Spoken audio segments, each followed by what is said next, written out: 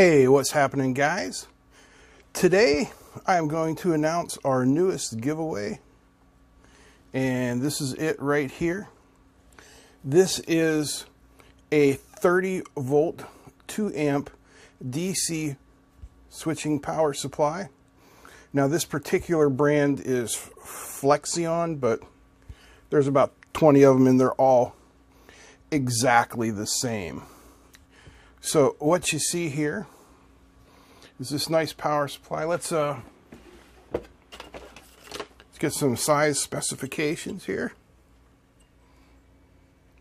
It is five inches wide. Uh, for those of you metric types, that's uh, 12 and a half centimeters.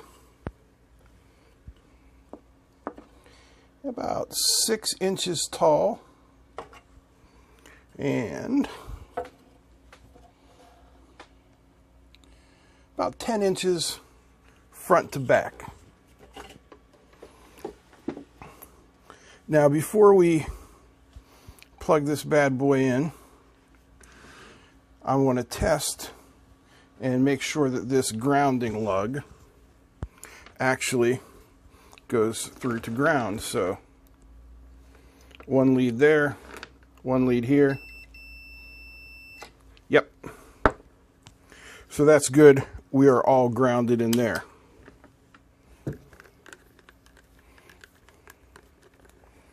All right. Let's plug her in and have a look.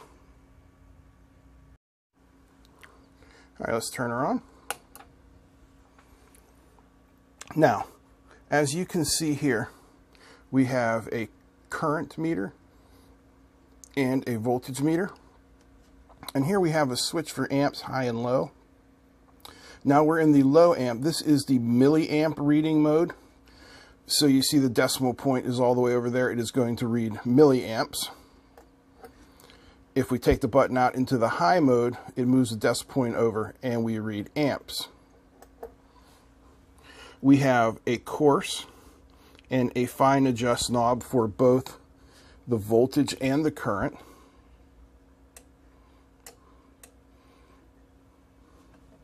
Let's see how. Right up to 30 volts there. Not bad at all. And this fine adjust knob, let's see, yeah. Looks like the adjustments are in a tenth of a volt.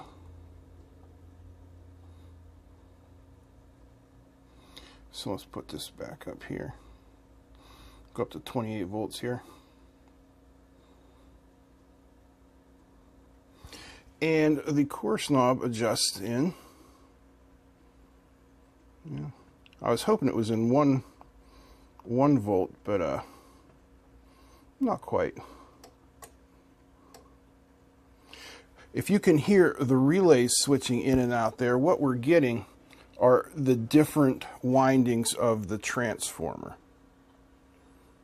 All right, so let's hook up some wires to this and a load and uh, see what she does.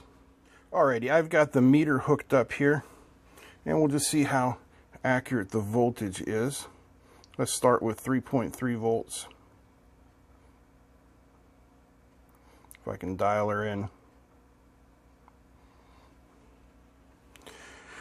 So 3.3 volts on the power supply meter is showing me 3.5. Let's try the fine adjust.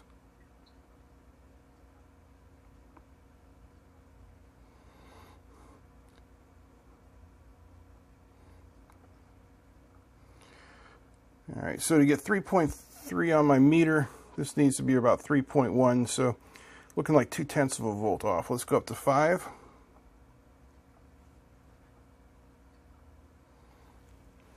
Yep, reading 5.2, so again, two tenths of a volt off. Let's go to 12 volts.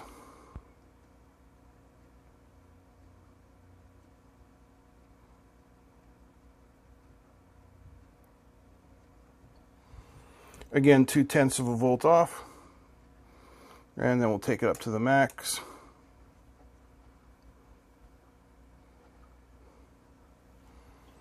That's reading about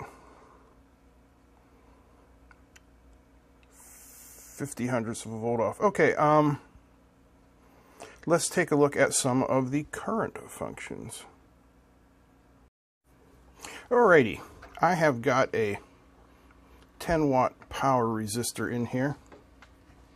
Make sure everything is all the way down. We'll turn her on. And you can see it has switched itself into the constant current mode. And even if I adjust over here on the volts, it's staying in constant current. So if I just kick this up a little bit, there we go. So let's give it a half a volt.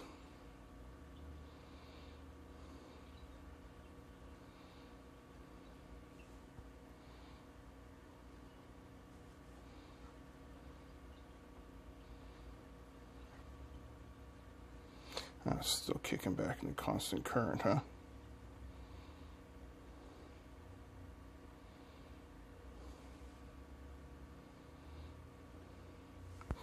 Okay, so we're in the low mode.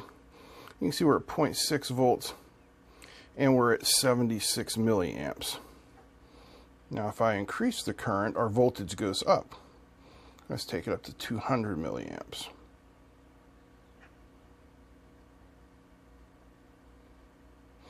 Now at 200 milliamps, you see we're still in the constant current mode and our voltage holds at the 1.9 volts. So, how do you set your maximum current on these things? Well, it's pretty simple. Let me start by shutting it off. Turn everything all the way down. And then I'm gonna I'm just gonna disconnect my power resistor here. And I'm going to put this in the regular amp mode. We'll turn it on. Adjust that. Now let's put our voltage as low as possible.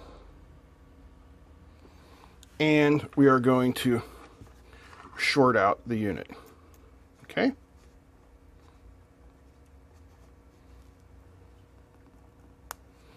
So now you see we are in constant current mode. And let's say you want 500 milliamps.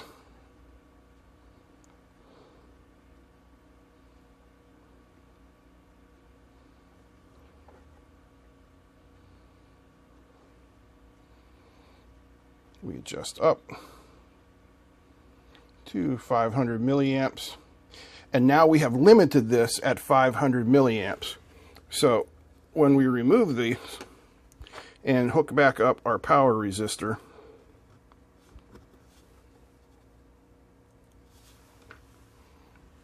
we can increase our voltage,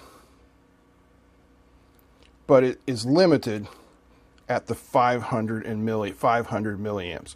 It won't go any higher than that. And that's how you can do it. You set your constant current. All right. Let's have a look inside the machine next. Okay, so here we are with the hat off. And you can see there are three separate circuit boards. There is this one up here. And then there is this control board at the front.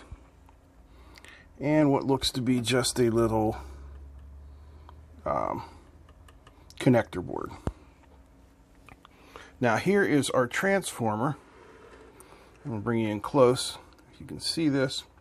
It has two separate windings, an 18 volt and a 10 volt. So apparently by putting those together, we're able to get the 30 volts out of it. Now back here on this back plate is our power transistor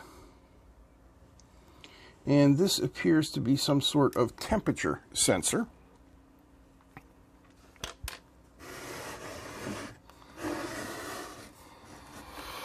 Over here, you can see our power switch right down here.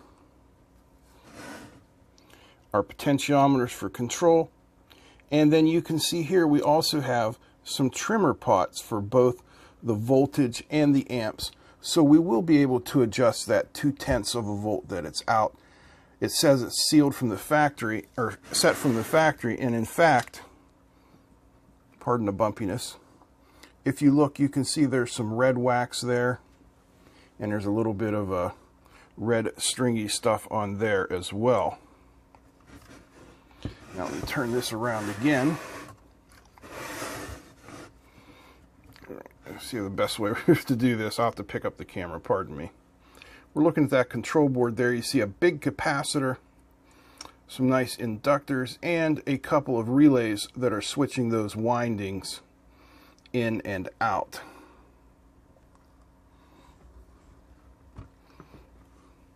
Now, overall construction, this is made of stamped sheet metal. Same with the outer case. Same with the back here with this nice fan.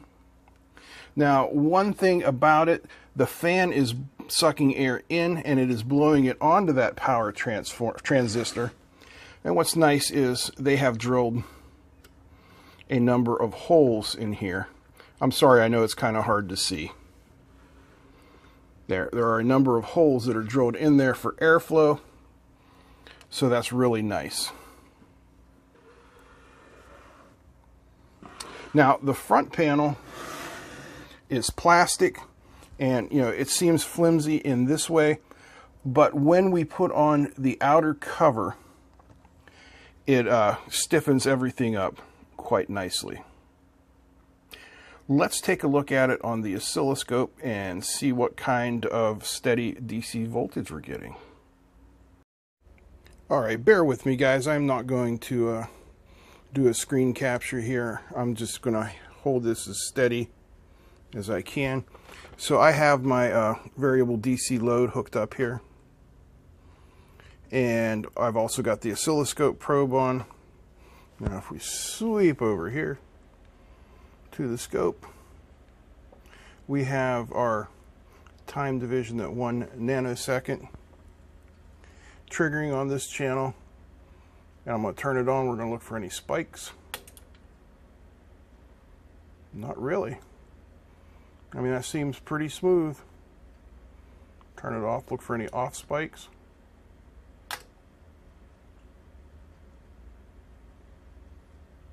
Looking good.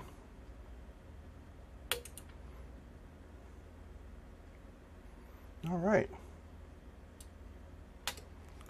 Well, I think that's a pretty smooth power supply right there. Well, there she blows